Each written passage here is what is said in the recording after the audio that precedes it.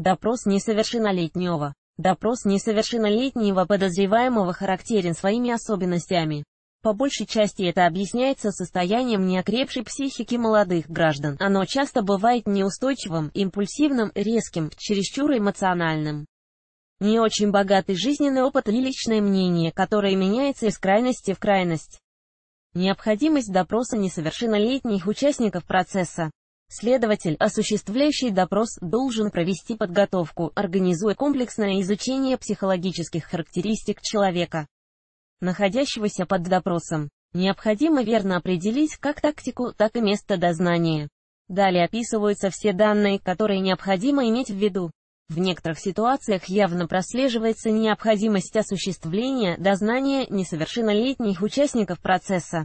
В первую очередь, дознание, конечно же, реализуется по отношению к несовершеннолетнему потерпевшему, а также обвиняемому.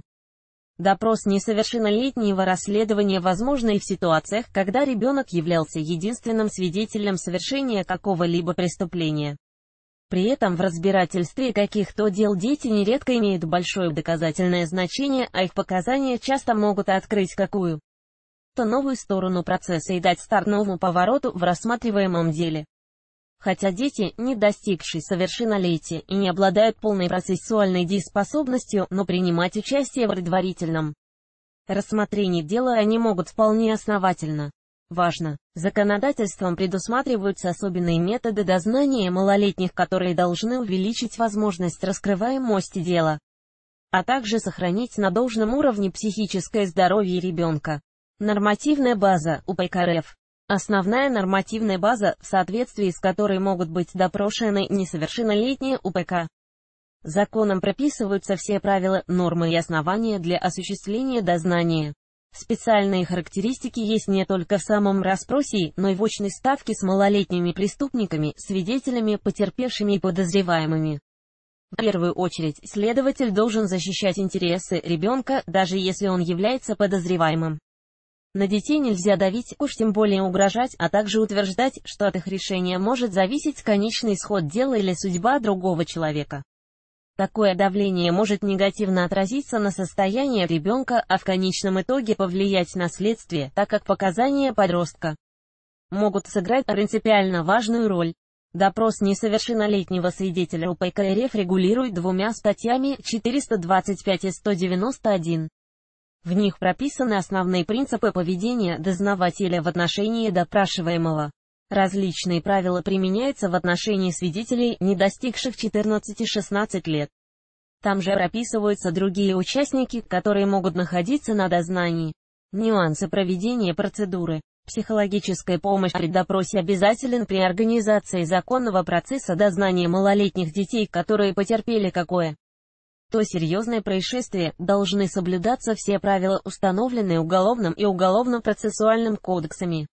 Если уполномоченный орган решил допрашивать ребенка до 14 лет, в некоторых случаях по решению суда до 18 лет вместе с допрашиваемым, обязан находиться представитель, при условии, что ребенок является инвалидом или у него есть какие-то другие ограничения по физическому или психическому здоровью.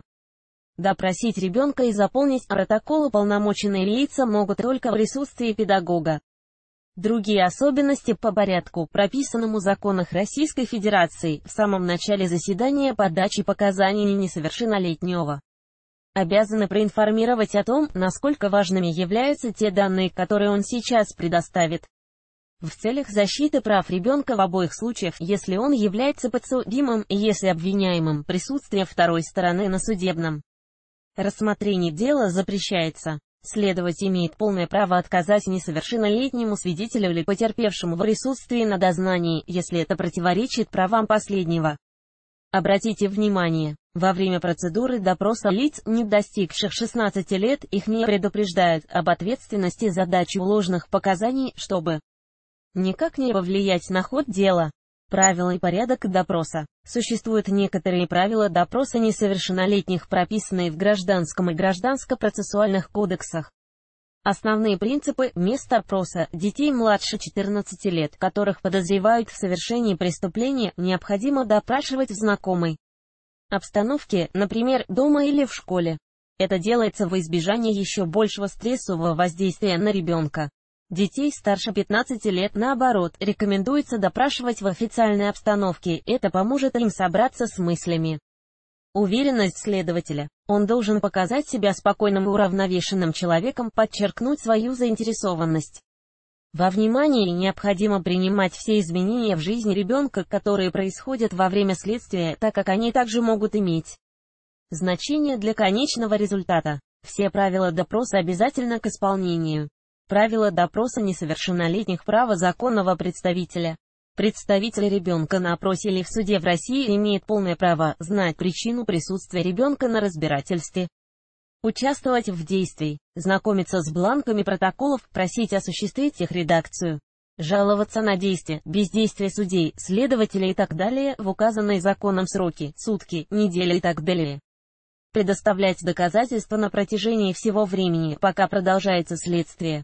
Выписывать из дела любые сведения в любом объеме. Запрашивать перерыв, необходимый ребенку. Участие педагога при допросе дает ему право задавать вопросы обвиняемому. Делать письменные замечания в протоколе. Проверять правильность записей. Основные особенности допроса лиц, недо достигших совершеннолетия. Педагог на допросе в целом основными является следующее правило, дознаватель не должен допрашивать лицо свыше двух часов подряд не предоставляя возможности отдохнуть перерывы и больше четырех часов в день. Обязательно присутствие защитника. На процессе должен присутствовать психолог либо педагог, если ребенок младше 16 лет. Присутствие вышеупомянутого лица обеспечивается по ходатайству стороны защиты. Допрос в суде в целом для подозреваемых лиц, не достигших совершеннолетия, используются те же правила, что и с потерпевшим. На него нельзя оказывать давление, а также проводить опрос более двух часов подряд. Присутствие педагога-психолога также обязательно. Протокол допроса несовершеннолетнего подозреваемого. Протокол дознания должен содержать следующую информацию, личные данные допрашиваемого. Время начала и время окончания допроса. Предъявленное обвинение. Права сторон. Взаимное обвинение сторон. Описание и хода допроса. Личные подписи сторон. Ссылка на закон. Несовершеннолетние – это особая категория граждан. При рассмотрении дел с их участием требуется особый подход, принимающий во внимание особенности психического и физического развития. Точка.